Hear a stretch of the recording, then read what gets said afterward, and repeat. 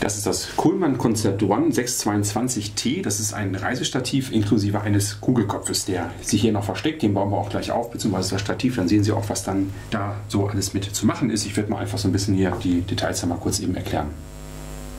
Wir fangen mal direkt mit den Schließen an. Das machen wir ja immer. Ne? Und zwar haben wir hier so Drehmechanismen, die man einfach mit einer Umdrehung öffnen kann und dann hat man Zugriff hier auf die einzelnen Segmente und mit diesem System ist es natürlich auch möglich, direkt mit einem Handgriff alle Segmente zu lösen und dann dementsprechend hier die einzelnen Segmente auszufahren. Das geht natürlich für alle drei Beine ganz klar und mit einem Handgriff kann man sie auch dann wieder so verschließen. Unten hier haben wir Gummifüße, wie man sieht. Das heißt, da ist also der sichere Stand auf glatten Unterböden bzw. glatten Flächen dann halt auch gewährleistet. Reicht auch vollkommen aus. Wenn man natürlich jetzt irgendwie draußen outdoormäßig unterwegs ist, wo es ein bisschen unwegsamer ist, wie man so schön sagt, dann wäre natürlich halt eben dann vielleicht doch ein Stativ mit Spikes angebracht. Allerdings muss ich sagen, ich gehe auch damit halt eben mit solchen Stativen raus. Ob das jetzt Spikes sind oder Gummifüße, ist mir im Prinzip eigentlich dann erstmal ziemlich Banane das Klemmsystem, also das System, was praktisch dann die Beine, wenn man sie also hier dann geöffnet hat und gespreizt hat, um halt eben das äh, Stativ hinzustellen, kommt in einem neuartigen äh, Verschlusssystem, habe ich so noch nicht gesehen. Das gilt übrigens für die ganze Concept One-Reihe äh, von Kohlmann. Und äh, das ist so eine, ja, eine Schnellklemmverschraubung, wenn man so möchte. Und wir haben hier den normalen Weg, wenn wir halt das Stativ aufbauen mit Rastpunkten und dann wird das Ganze halt eben hier eingerastet, zum Beispiel an der Position oder halt eben hier. Und wenn ich jetzt zurück möchte oder wieder das Stativ abbauen möchte, dann haben wir hier so einen Pfeil drauf, der bedeutet, dass wir dann diesen Ring einfach hier ein bisschen nach unten ziehen, den einfach so halten und dann können wir hier einfach das Bein wieder umlegen. Also das habe ich so noch nicht gesehen, ist für mich neu. Kann sein, dass es das vielleicht auch woanders noch gibt, weiß ich nicht, kann wirklich nicht und äh, gefällt mir sehr gut, weil es halt eben also nichts ist, was man jetzt irgendwie äh, ziehen muss, gezogen halten muss, wie auch immer. Das geht so richtig mit einem Handgriff, zack, und dann einfach hier das Bein wieder so umlegen. Fand ich ganz gut gelöst, beziehungsweise finde ich ganz gut gelöst, ziemlich clever und wie gesagt, ist ja auch was Neues. Ne? Ist auch mal ganz schön. Jetzt baue ich das Stativ mal eben auf, damit Sie auch sehen, wie schnell das geht. Einfach so, die Beine einmal hier einfach alle runter, einmal umklappen und dann die Segmente ausfahren, also sprich einen Handgriff pro Bein, dann festschrauben ist auch klar. Das war das erste Bein. Kommt hier das zweite Bein, alles draußen, wunderbar. So, muss man natürlich immer noch im Kopf haben, richtig rum man drehen muss. Ne? Übrigens, damit können Sie dann auch die Aufbauzeit drastisch verkürzen, wenn Sie direkt in die richtige Richtung drehen. Und auch hier noch einmal so, zack, zack, einmal und so. Und dann können wir das Stativ hier einfach hinstellen und vor allen Dingen nochmal richtig gucken, wie man das dann gerade macht. Und wir gucken jetzt nochmal so ein bisschen hier uns etwas genauer den Kugelkopf an. Den habe ich Ihnen noch gar nicht vorgestellt. Der Kugelkopf, den wir hier drauf haben, der hat natürlich hier oben ein äh, Schnellwechselplattensystem drauf mit einer ganz speziellen Klemmung, die zeige ich noch gleich. Und dann haben wir hier rundherum, wie Sie sehen können, eine Gradeinteilung beginnend bei 0 und geht dann hier 30, 60, 90 und immer wieder 30 und 60, 30, 0 Grad, je nachdem, von welcher Richtung Sie da drauf gucken. Und die kann man natürlich dann lösen, indem man hier an dieser Schraube dreht. Dann kann man den Kugelkopf auch drehen.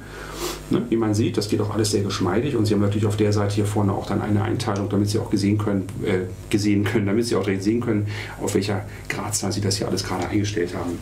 Wenn Sie dann die richtige Position gefunden haben, einfach hier wieder festdrehen, kein Problem. Das hier ist die Schraube für die Friktion. Also zum einen auch mal hier, um den, das Kugelgelenk dann hier zu entspannen sozusagen, um es halt eben frei bewegen zu können und natürlich auch hier mit der obligatorischen Kerbe für die Hochformataufnahmen, um das Ganze halt eben dann hier auf Seite kippen zu können.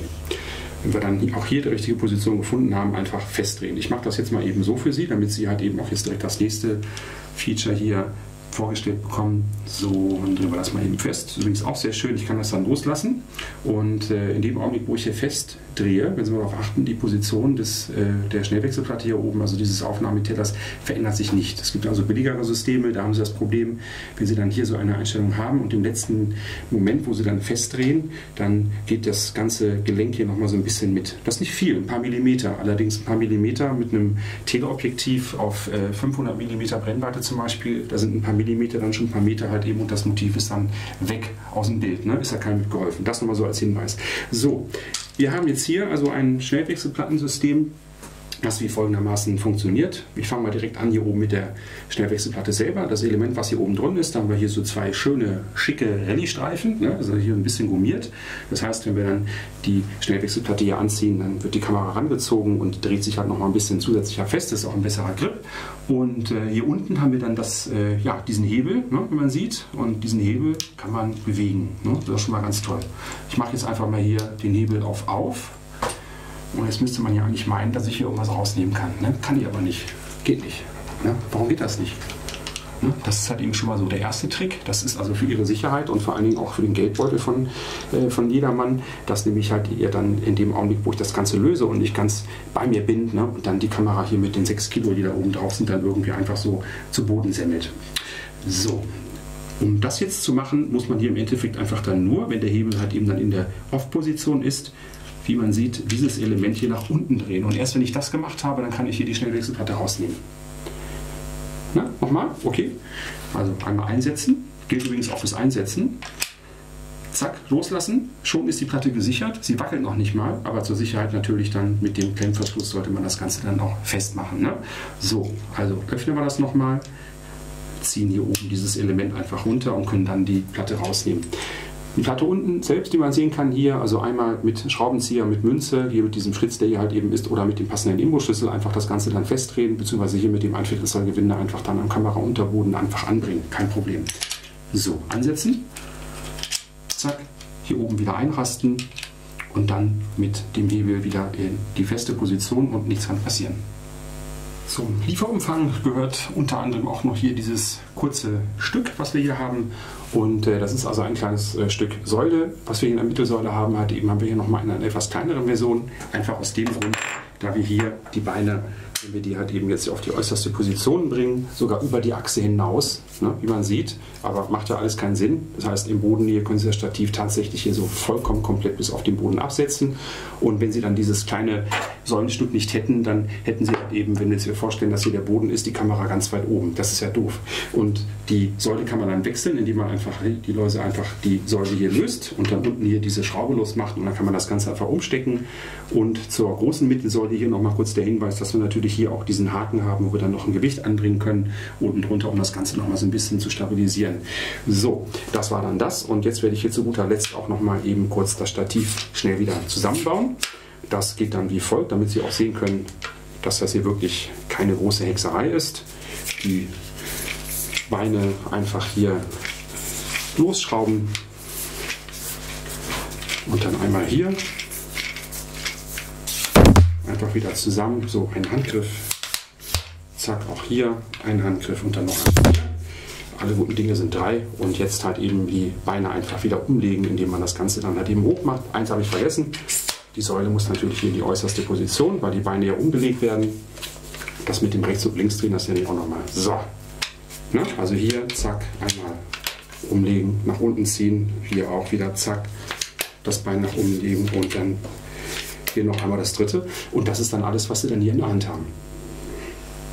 In diesem Film habe ich Ihnen hier das Coleman Concept One 622T vorgestellt. Das ist ein Reisestativ, wie man sieht, mit einem kleinen Packmaß, was Sie bei uns hier im Shop erwerben können. Eine Auszugshöhe von 1,36 Meter und diesen ganzen anderen technischen Kladderadatsch, den wir hier noch haben, den lesen Sie am besten einfach mal auf der Produktseite nach, wo Sie gerade sind. Da stehen nochmal die Maße genau aufgeführt, was da auch alles mit zugehört an Lieferumfang.